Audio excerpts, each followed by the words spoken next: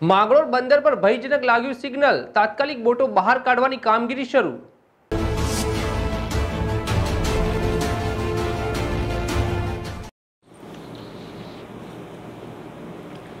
જૂનાગઢ માંગરોળ બંદરની જેટીમાંથી બોટોને ઇમરજન્સી બહાર કાઢવાની કામગીરી શરૂ. માંગરોળની જેટીમાં દરિયાઈ કરંટ હોવાથી ઇમરજન્સી બોટોને બહાર કઢાઈ રહી છે. માંગરોળ બંદર ઉપર ભયજનક દસ નંબરનું સિગ્નલ લાગતા બોટોને જેટીથી બહાર કાઢવાની નોબત આવી પડી છે.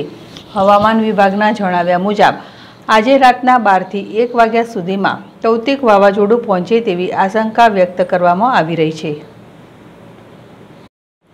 જીતુ પરમાર, જેડેશ ટીવી, માંગરોળ.